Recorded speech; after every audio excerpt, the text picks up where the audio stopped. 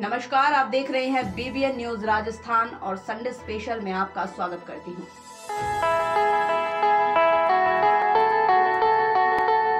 आज बात करेंगे राष्ट्रीय मिलिट्री स्कूल के बारे में, जहाँ हमारे प्रधान संपादक भूपेश पचोरी जी ने भी राष्ट्रीय मिलिट्री स्कूल के प्राचार्य लेफ्टिनेंट कर्नल श्याम कृष्ण जी से स्कूल के बारे में कुछ खास बातचीत की है। लेकिन इससे पहले हम आपको बता दें कि उनके द्वारा बताया गया है कि धौलपुर रियासत के राजा उदयभान सिंह के अद्भुत पच्चीकारी और कुशल वास्तुकला से निर्मित इस शानदार केसरबाग महल में इस विद्यालय का शुभारंभ किया गया था। वर्ष उन्नीस सौ बासठ में इसे निन्यानवे वर्ष की लीज पर रक्षा मंत्रालय को सौंपा गया था। इस भवन की अनोखी पच्चीकारी, कलात्मक स्वर्ण जड़ित चित्रकारी जो कि छतों पर की गई है और इस भवन में इसे ठंडा रखने के लिए प्राचीन सिस्टम भी लगा हुआ है। इस प्रकार सभी सुख सुविधाओं से ये परिपूर्ण या भवन, ये भवन राष्ट्रीय मिलिट्री स्कूल का एकेडमिक कैंपस बना हुआ है, जो आज भी चल रहा है। मुख्य सड़क की दूसरी तरफ़ राष्ट्रीय मिलिट्री स्कूल का नया कैंपस निर्मित किया गया है, जहाँ रेजिडेंशियल हॉस्टल एवं फ्लैट बने हुए हैं।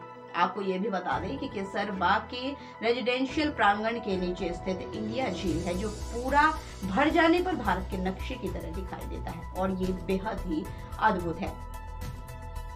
आइए आपको लिए चलते हैं सीधा यहाँ के प्राचार्य लेफ्टिनेंट कर्नल श्याम कृष्णा जी के पास जहाँ उनकी ही जुबानी आपको सुनवाते हैं कि इस स्कूल की क्या मान्यताएँ हैं क्या इसकी स्पेशलिटी हैं और किस तरह की, यहाँ पर नक्काशी देखने को मिलती है।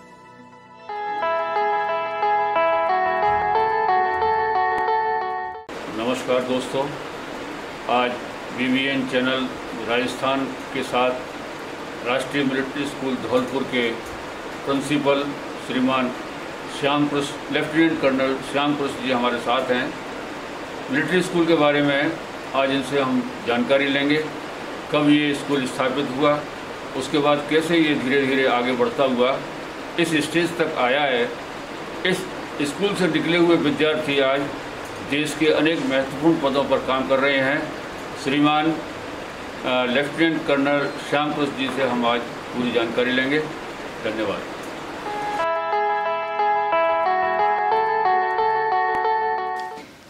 सबसे पहले सबको नमस्कार, प्रणाम और रामनवमी है आज रामनवमी का भी शुभकामनाएँ। और ऑफकोर्स हम सबको पता है अभी पैंडमिक सिचुएशन बहुत ज़्यादा हो रखा है इंडिया में और इवन धौलपुर में भी हमारे जो कोविड नाइन्टीन है, उसका सिचुएशन उतना अच्छा नहीं है। तो health is the most important thing तो हम सब अपना हेल्थ का ध्यान रख ले और मास्क पहन ले और गवर्नमेंट का जो रूल्स एंड रेगुलेशन है, वो हमेशा फॉलो करना करना है। तो उसी में कोई भी डाइल्यूट करोगे तो हमारा खुद का सेहत के लिए और हेल्थ के लिए हानिकारक है। तो वो सबसे इम्पोर्टेंट चीज़ है आजकल का ज़माने में। जब हम आर आर धौलपुर के बारे में बात करें तो राष्ट्रीय military school Dholpur nineteen sixty two में स्थापना हुआ था। तो 1962 में ये स्थापना होने के टाइम पे यहाँ पे एक छोटा सा एक स्कूल था। जब हम राजा महाराणा उदयभान सिंह जी से जब हमको ये केसरबाग पैलेस जो मिला है वो 1962 में मिनिस्ट्री ऑफ़ डिफेंस को राजस्थान गवर्नमेंट ने हमें दे दिया उस समय एक छोटा सा केजी स्कूल के तौर पे यहाँ पे स्थापित शुरू हुआ। तो उन्नीस सौ बासठ में। उन्नीस सौ बासठ। उन्नीस सौ बासठ में जब यहाँ पे शुरू हुआ था तो स्ट्रेंथ बहुत कम था।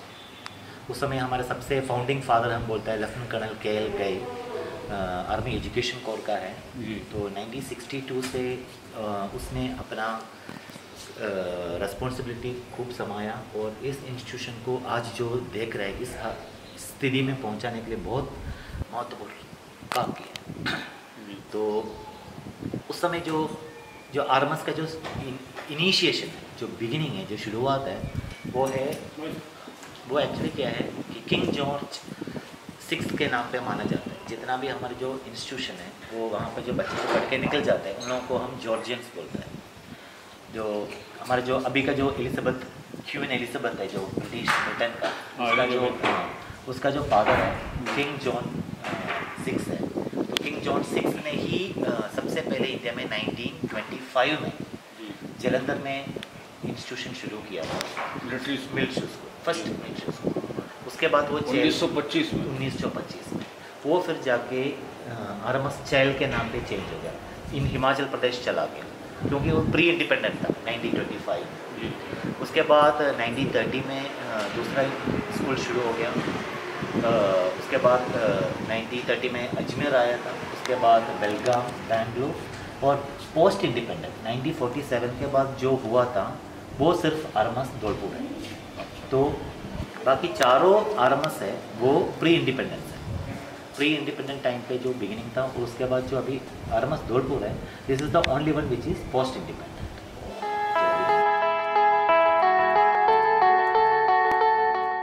ये हमारा यहाँ का जो मोटिवेशन हॉल मान मानता है हम लोग ये राजा का उस समय का एक बड़ा हॉल है।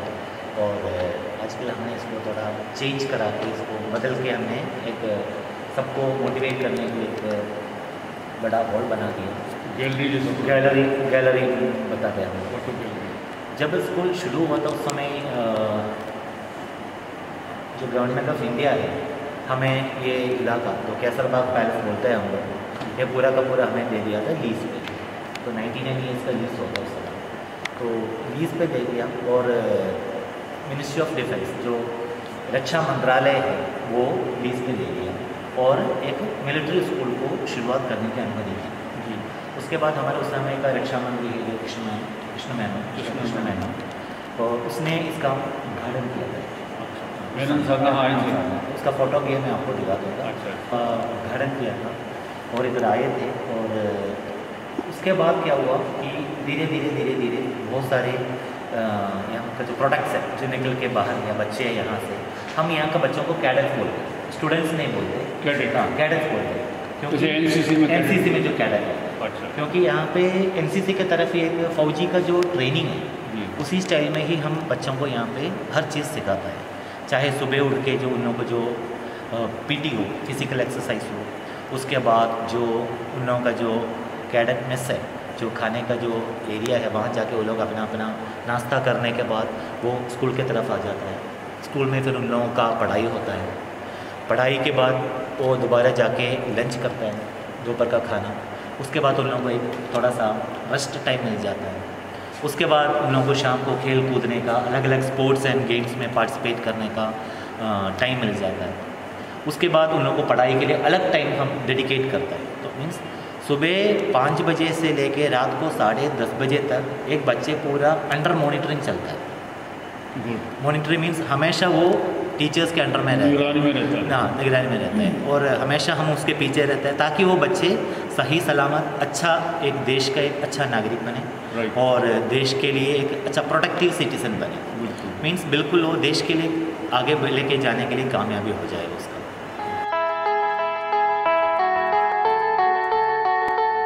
ध्यान दिया कि हम उसको आगे चलाएँगे। अच्छा और- पूरा इसका स्टडी किया। Study किया। कैसे सहयोग कर सकती हाँ, पूरा सहयोग ऑफकोर्स गवर्नमेंट के बिना हम आगे चले नहीं था क्योंकि एक केंद्रीय संस्था है और पूरा का पूरा इंडियन आर्मी के नीचे है। हाँ। जो भारतीय थल सेना है उसी के नीचे ही हम काम करता है। चाहे हमारा यहाँ पे जो बच्चे हैं इसमें 75 परसेंटेज तो पूरा जो हमारे जो आर्मी नेवी और एयरफोर्स है भारतीय सेनाओं का जवानों का बच्चे है। अच्छा। हाँ जी। ज़्यादातर? ज़्यादातर। सिटीजन्स के हाँ अस्सी परसेंटेज मान लो तकरीबन अस्सी परसेंटेज तक वही आ जाता है। अच्छा। और जो बीस परसेंटेज है वो अ, मान सकता है कि सिविल से आता है सिविल से। और ऑफिसर्स का बच्चे हैं वो भी आ जाता है। तो क्योंकि ये जवानों का बच्चों को आगे मीन्स थोड़ा सा अच्छा पढ़ाई करके उन लोगों को मेन लाइन लाइफ में लेके आना जो अच्छा प्रशिक्षण दे के और उन लोगों को अच्छा नागरिक बनाना और अच्छा बना के उन लोगों को एनडीए के लिए तैयारी कर तो ये जो नेशनल डिफेंस एकेडमी जो पुणे में उसी के लिए तैयारी करने का ही मेन मकसद है इस इंस्टीट्यूशन का। एनडीए की तैयारी के लिए। फिर धीरे धीरे वो जाके एनडीए हो गया फिर नेवल एकेडमी हो गया। भारतीय सेना का नेवल एकेडमी है तो नेवल एकेडमी के लिए भी तैयारी कराता है और नेशनल डिफेंस एकेडमी के लिए भी तैयारी करता है। और कुछ बच्चे क्या है वो यहाँ से ट्वेल्थ पास होके चले जाता है सिविल में जाके ग्रेजुएशन करता है बट जब यहाँ पे जो रहता है वो एनसीसी करता है। उसके बाद जो एनसीसी के जो सी सर्टिफिकेट लेता है यहाँ पे हम बी सर्टिफिकेट लेता है। जी। तो सी सर्टिफिकेट कॉलेज में लेके वो दोबारा फौज में आ जाता है सी सर्टिफिकेट के साथ। ऑफिसर वगैरह बन के वो दोबारा आ जाता है। यहाँ ट्वेल्थ तक है हाँ ये एक्चुअली जितना भी R M S S India में पाँच आर एम एस एस है चैल में है धौलपुर में है अजमेर में है बेंगलुरु में है और बेलगाम में है। ये पाँचों मिलिट्री स्कूल्स हैं। ये पाँचों मिलिट्री स्कूल सिक्स स्टैंडर्ड से लेके ट्वेल्थ स्टैंडर्ड तक है। सिक्स सिक्स से सिक्स से ट्वेल्थ ट्वेल्थ तक अच्छा इस हाँ अच्छा इस समय अपने इस स्कूल में यूँ तो कोविड का टाइम चल रहा है। हाँ जी। स्टूडेंट्स तो होंगे नहीं मेरे अभी जो हमारा बोर्ड एग्ज़ाम के जो बच्चे हैं टेंथ और ट्वेल्थ का उन लोगों का तो प्रिपरेशन तो कर दिया था बट कोविड के वजह से हम उन लोगों को वापस भेज रहे हैं। मैक्सिमम बच्चे वापस जा चुके हैं। और कुछ लोग ट्रेन के चक्कर में क्योंकि हमारे यहाँ पे मैक्सिमम बच्चे आता है बिहार और यूपी साइड से। हाँ। तो उन लोगों को जो लॉन्ग रूट जाना है जो ट्रेन पे तो उन लोगों का टिकट की वजह से एक और दो दिन आगे पीछे चल रहा है। अदरवाइज़ मैक्सिमम बच्चे अभी वापस जा चुके हैं। How much strength now in अभी हमारे पास total four hundred and fifty साढ़े चार सौ बच्चों का ऑथराइजेशन है यहाँ पे। बट अभी हमारे पास तीन सौ नब्बे बच्चे हैं। तीन सौ नब्बे बच्चे हैं। उसमें मैक्सिमम बाहर का ही है। और इस इलाके का तो ओवरऑल कम है क्योंकि एक कॉमन एंट्रेंस टेस्ट होता है जो नेशनल लेवल में। उसी के थ्रू ही बच्चे हमारे यहाँ पे आते एडमिशन हाँ, पहले रिटर्न एग्जामिनेशन होता है उसके बाद इंटरव्यू होता है उसके बाद उसका मेडिकल होता है। ये सभी करने के बाद ही बच्चे यहाँ पे एडमिशन मिलता है। काफ़ी कठिन प्रोसेस से निकल के आते हैं बच्चे। बिल्कुल अच्छा अच्छा। क्योंकि तो वो- यहाँ आप शिक्षा के साथ साथ फिजिकली भी बच्चों को तैयार करते हैं जिससे वो आगे जाके मिलिट्री में कहीं भी जा सकें ये मेन उद्देश्य हाँ मेन उद्देश्य वही है ताकि उन लोगों को जो आगे वाले जो ट्रेनिंग है। आगे, जो कार्रवाई उसको करना है वो बिल्कुल हम उसको फिट बना के यहाँ से भेजता है। जब हम मान लो यहाँ पे पूरा एक छोटा सा मिलिट्री ट्रेनिंग के तौर पे अगर इधर देता है तो उसको एन या नेवल एकेडमी जाके उतना महसूस नहीं होगा कि उसको ट्रेनिंग बहुत कठिन हो। हाँ। क्योंकि जितना भी कठिन है वो कठिनाइयों से वो निकलता है अपना यहाँ से सारी हाँ, लेके सारे सीखे सीख के चले जाता है। तो आगे जाके उसको बिल्कुल आसान हो जाता है। और इसलिए वो अच्छा प्रोडक्ट बन के निकल जाता है। वही हमारा मेन उद्देश्य है यहाँ। और इवन हमारे बहुत सारे पॉलिटिशियंस भी हैं हमारा उत्तर प्रदेश का पुराना चीफ मिनिस्टर है अखिलेश यादव जी।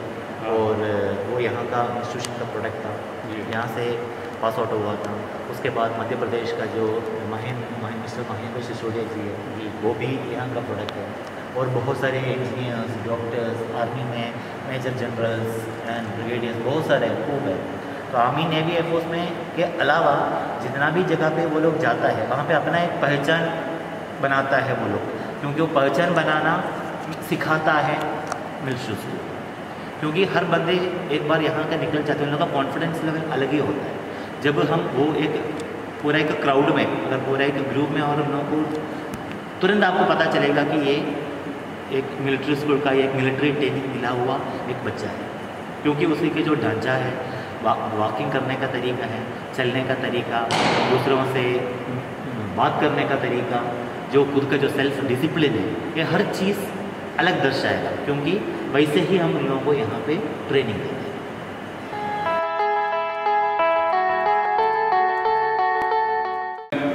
आपकी ज़्यादातर बच्चे जा चुके हैं। हाँ जी। तो अभी अपन किस तरह की व्यवस्थाओं में कर रहे हैं?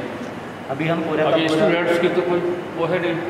बिल्कुल अभी तो कोई स्टूडेंट्स यहाँ पे नहीं है स्टूडेंट जा चुका है। अभी हम पूरा का पूरा ऑनलाइन का माध्यम से क्लासेस चला रहे हैं। अच्छा ऑनलाइन एजुकेशन ऑनलाइन एजुकेशन चालू है क्योंकि हमारे जब तक हमारे समर वैकेशन और विंटर वैकेशन नहीं होता जो जितना भी जो टीचिंग स्टाफ है वो यहाँ पे रह के और यहाँ से ऑनलाइन के माध्यम का थ्रू प्रशिक्षण। स्टाफ पूरा यही स्टाफ पूरा इधर ही क्योंकि जब वैकेशन हुआ तभी स्टाफ को जाने का अनुमति। है अच्छा।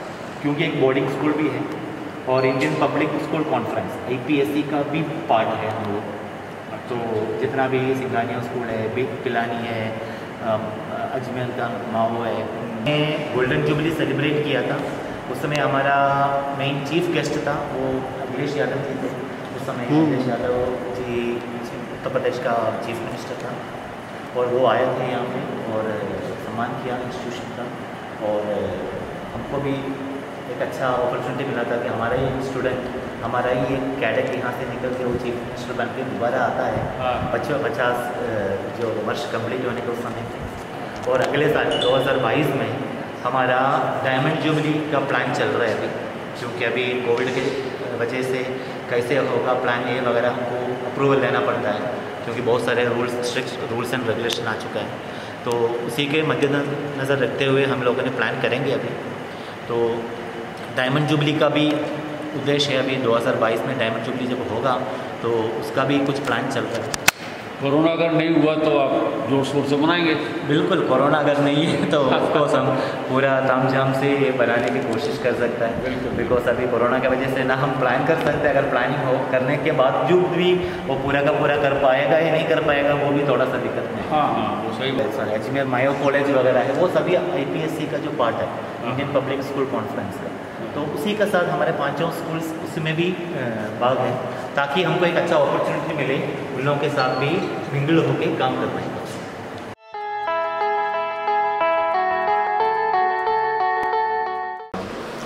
सबसे पहले मैं धौलपुर के सभी लोगों को रामनवमी की और हिंदू नववर्ष की शुभकामनाएँ देता हूँ। और हिंदू वर्ष 2078 का इस शुभारंभ पे कोरोना से बच के रहने का गाइडलाइंस वगैरह रखा है। उसी के मुताबिक हम उसको आगे बढ़ाना है और सबको एक बार और नववर्ष का और रामनवमी का हार्दिक बधाइयाँ देता हूँ।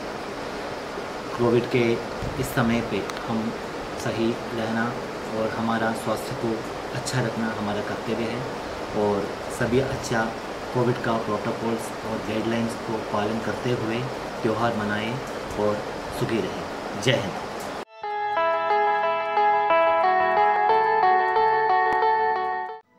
तो आज के स्पेशल संडे में बस इतना ही। बाकी की तमाम छोटी बड़ी खबरों से जुड़े रहने के लिए देखते रहिए बीबीएन न्यूज़ राजस्थान। नमस्कार।